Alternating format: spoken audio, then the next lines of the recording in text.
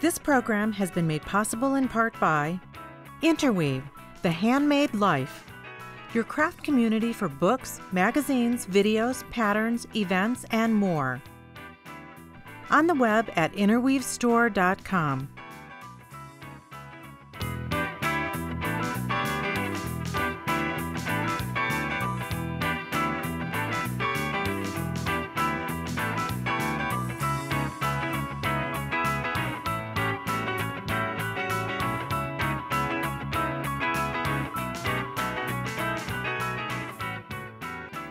Hi, on today's Crochet Corner, we're going to talk about filet crochet.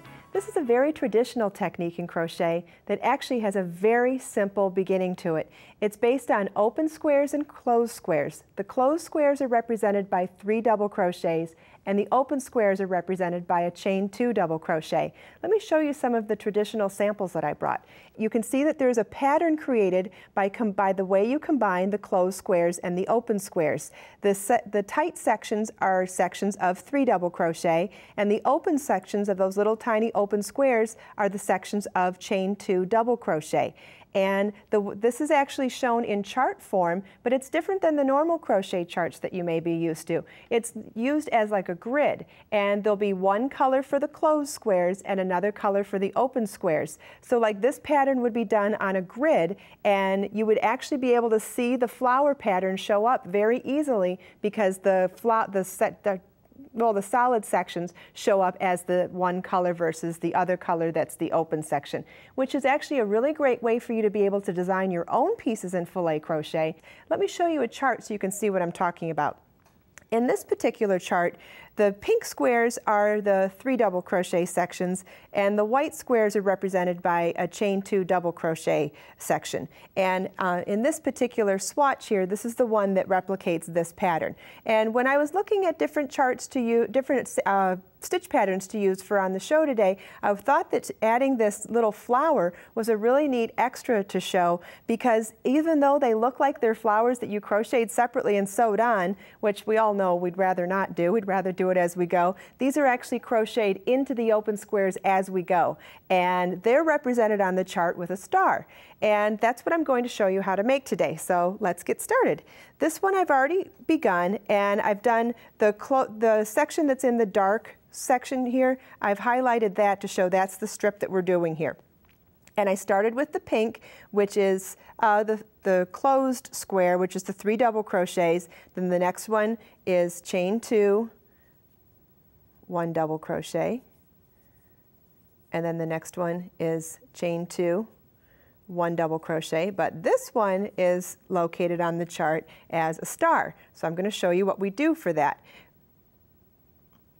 So we're going to slip stitch into the side of that last stitch worked, chain three, which counts as a double crochet, work two double crochets into the same side of the stitch, and then a chain three, and slip stitch back down into that same side post. Now we're going to turn our work so that we're working into the chain two in the top of the last row worked, chain three, and work three, uh, two double crochets into that, chain two space, then chain three slip stitch into the same place. Now we're going to turn our work again and work into the double crochet in the current row, slip stitch into it, chain three, work two double crochets, chain three, and slip stitch into the side of that same stitch. Now we'll go back up to the top chain two at the top of this particular row.